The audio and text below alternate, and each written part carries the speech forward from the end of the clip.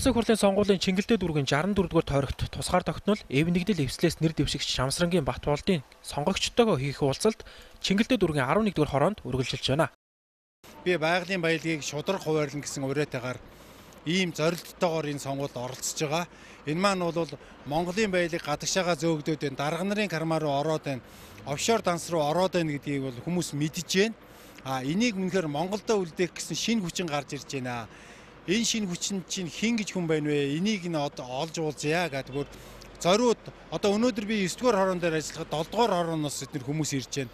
10 дугаар хорооноос хүмүүс ирж байна. Энэ хүмүүс бол ирж саналаа хэлж сайхан дэмжиж байна.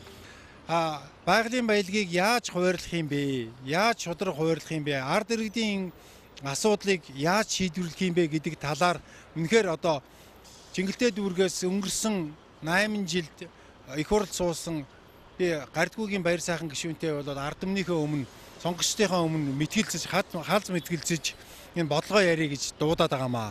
Тэгээ одоо баяр сайхан гишүүн маань ерөөсө хариу өгөхгүй байна.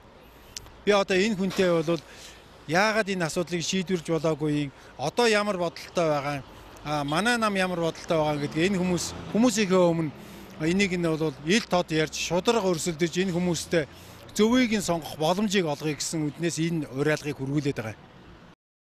Тусгаар тогтнол ив нэгдэл эвсэл байгалийн баялагийг цөөн хідэн эрх мэдэлтэн өрн таран хийдгийг өөрчилж бүх нийтээрээ тэнцүү хувааж Монгол түмэндээ хамгийн өгөөчтэй хэлбэрээр шудраг хуваарлах талаар мөрийн хөтөлбөртөө тусгасан.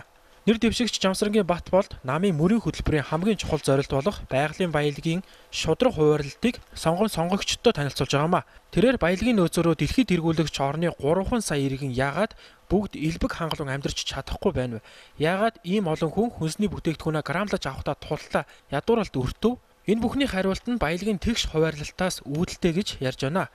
Баялагийг тэгш бос шудраг хуваарлна гэдэг нь бэлэн мөнгө тараана гэсэн ойлголт огт биш харин иргэдэд хэрэгтэй үйлчлэгийг сайжруулах, цэцэрлэг сургуулийн тоог нэмэгдүүлэх, халамж хэрэгтэй хүнд хүрч үйлчлэнэ гэсэн үг юм а. Мөн гадаадад офшор данстай баян нэгэн олон хүүхэдтэй ажилгүй эмэгтэйтэй яг ижил халамж хүртдэг нь шудраг биш гэж онцлоод байна. Нэр дэвшигчтэй уулзсан иргэдийн олонх нь байгалийн баялагийг шудраг хуваарлалт хийх гарт шийдлүүдийг таатаа хүлээн авч байлаа.